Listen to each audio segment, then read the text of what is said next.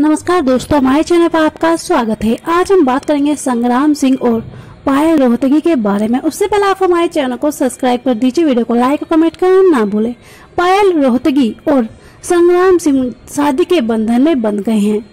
सभी रस्में शुरू हो चुकी थी। मेहंदी के बाद हल्दी सेरेमनी लड़कियों भी लेकर आपके सामने लेकर आए हैं। उनकी खूबसूरत फ़ोटो। ये कलर के पारंपरिक ड्रेस में पायल और संग्राम की जोड़ी बेहद प्यारी लग रही है। हल्दी सेरेमनी से पहले फ़ोटो शूट की ये तस्वीरें आप खुद ही देख लीजिए। के बाद जैसे ही हल्दी सेरेमनी शुरू हुई, पूरा धमाल मच गया। फ़ोटो के बाद जैसे ही हल्दी सेरेमनी शुरू हुई, पूरा धमाल मच गया। परिवार और करीबों के बीच रस्में पूरी की गई। हर किसी की खिलखिलाते चेहरे वहाँ के माहौल को बखूबी बयां कर रहे थे। जैसा कि भारतीय शादियों में होता है, हल्दी राज, दुल्हन राजा को उनके दोस्त छेड़ते हुए नज़र आए। वैसे संग्राम भी खूब एंजॉय करते दिखे। यादगार पल उन्होंने हमेशा याद रहेंगे। दोनों की हल्दी फ़ोटो देख किसी का भी चेहरा खिल उठा।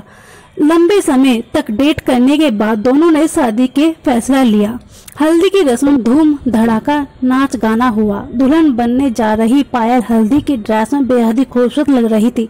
सबसे खास पल वो था जब संग्राम ने अपनी होने वाली दुल्हनिया को गोद में उठा लिया उनके बीच का पूरा प्यार इस तस्वीर में साफ़ झलक रहा है। अच्छा दोस्तों, अगर आपको भी इनकी फ़ोटो अच्छी लगे तो हमारे चैनल जुटाने के लिए हमारे चैनल को सब्सक्राइब कर दीजिए, वीडियो को लाइक, कमेंट और शेयर करना ना भूलें। धन्यवाद।